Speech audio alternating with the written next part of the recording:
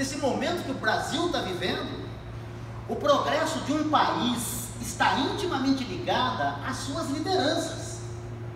No momento que um país se desenvolve, no momento que um país progride, e líderes estão ali presentes, com as suas ideias, com as suas ações, com as suas atitudes e principalmente no mundo de hoje com os seus exemplos.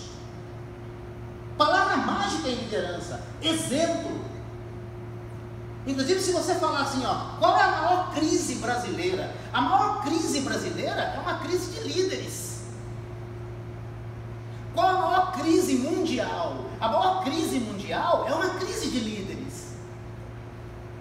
É interessante que eu estava fazendo uma entrevista há um tempo atrás, aí a repórter disse assim, mas brasileiro não sabe votar, né, Alfredo Rocha? Aí eu disse, e americano sabe? Então, quer dizer, é, aprendizado, a democracia é um aprendizado, tudo é um aprendizado, a gente está sempre aprendendo.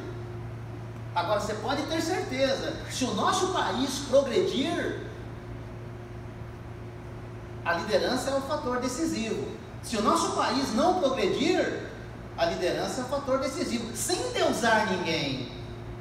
Que pena que está acontecendo hoje, nesse universo paralelo, chamado online, que nós temos dois universos, né? Tem esse mundo aqui, o offline, e tem um universo paralelo chamado online.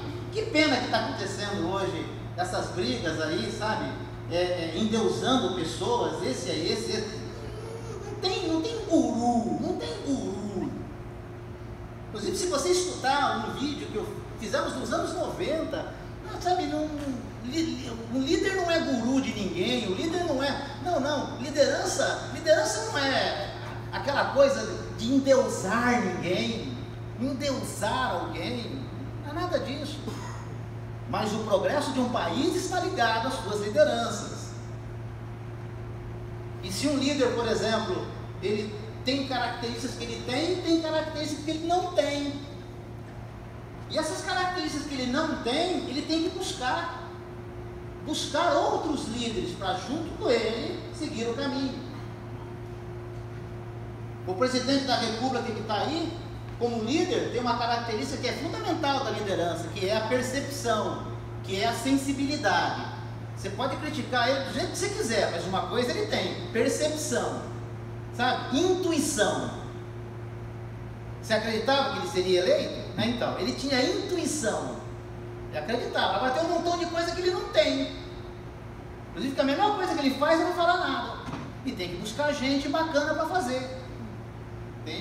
Ministérios aí, uns três ou quatro, que é interessante. Agora, por exemplo, você como líder, o que, que você tem? O que, que você não tem? Deixa eu deixar logo claro para você como líder. Tem coisa que você não tem. Tem coisa que você não sabe. Tem coisa que você não é. Daí a importância do time. Daí a importância de você montar um time. O que você não tem, o que você não sabe, o que você não é, se você quer progredir, vai buscar então pessoas para te ajudar. Agora, se você falar, não, para mim tá bom assim, desse tamanhozinho, tá bom, então fica só você. Mas o progresso de um país, olha, o progresso de uma família, vamos para a família agora. Fomos para a humanidade, fomos para o país, agora vamos para a família. O progresso da sua família, preste atenção. A sua família evoluiu, a sua família progrediu, a sua família vem evoluindo, a sua família vem progredindo. Responder que sim, eu sei o fator qual é. É a liderança.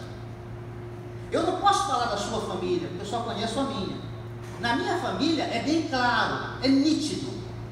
O fator de progresso da minha família está intimamente ligado à liderança de quem? Da minha mãe.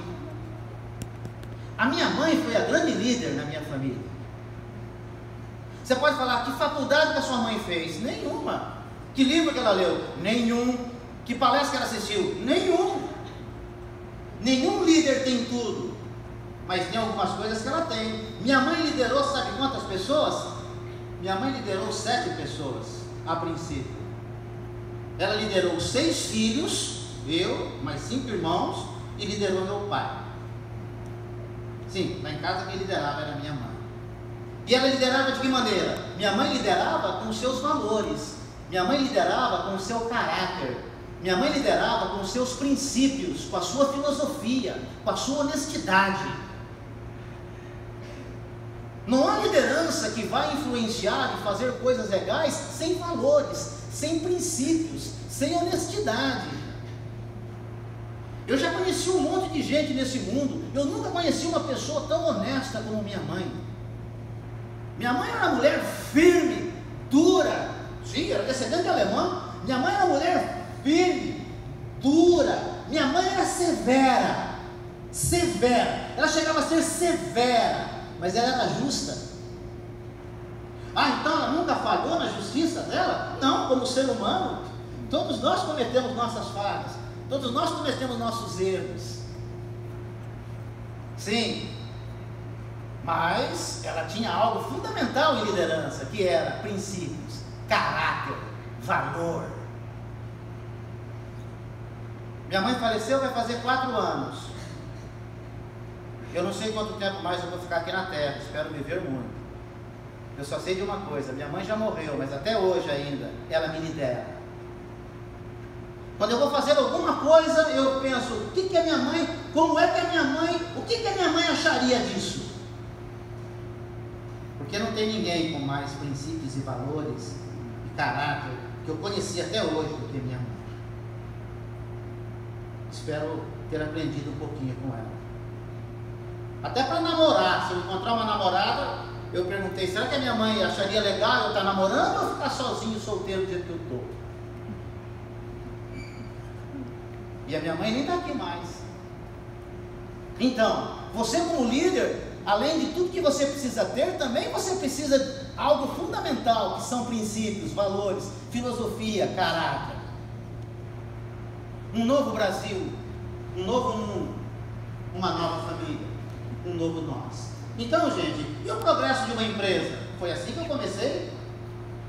Se é a verdade na humanidade, se é verdade no país, se é verdade na sua família, na minha família, a primeira líder foi minha mãe. Não significa que só a minha mãe. Depois, cada um de nós, irmãos, começamos a liderar nossa história, a nossa vida.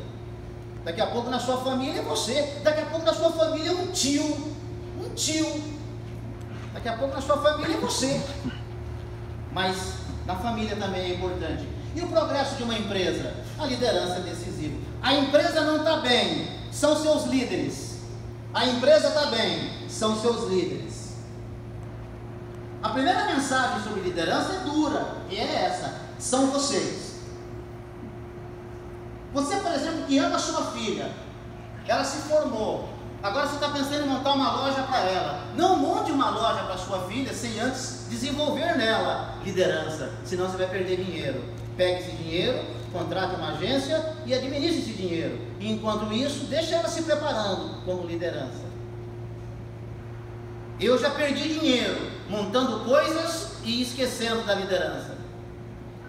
E você vai perder dinheiro se você montar um negócio para sua filha, para o seu filho, ou montar uma nova filial. Ah, eu vou montar uma nova filial. Montei uma nova filial. Não monte uma nova filial para montar. Monte se você tiver um líder já no horizonte. Monte se você tiver já preparando um líder, senão você vai perder dinheiro. E não só perder dinheiro, vai causar estresse Eu ministro palestras em empresas com franquias, com 200, algumas com 600 franquias espalhadas pelo Brasil. Também ministro palestras em empresas que têm o quê? Que têm filiais.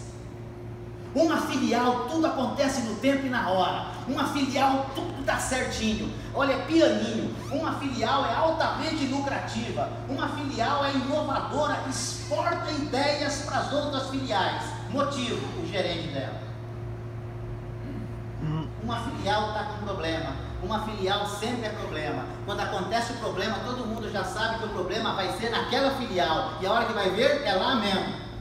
As coisas emperram, as coisas não vão, as coisas não acontecem. Vai ver, é o gerente.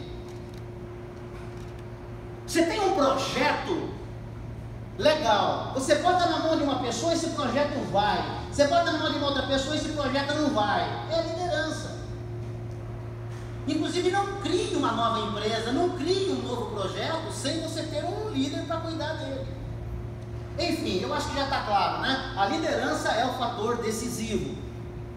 Inclusive até o desemprego, tem uma notícia ruim para vocês. A empresa tinha problema. Sabe o que acontecia? É, mandava funcionário embora. Hoje a empresa está com problema. Sabe o que acontece? Troca o chefe. Ou recicla ele. Às vezes uma única fábrica. Nossa, eu tenho a felicidade de falar dentro das maiores empresas do mundo. E às vezes tem um departamento lá que vai, e tem um departamento lá que não vai. É a chefia, é a gerência, é a supervisão, é a liderança. Eu acho que está claro isso, né? Não culpe funcionário, é a liderança. Não tem jeito. E desafios para a liderança hoje.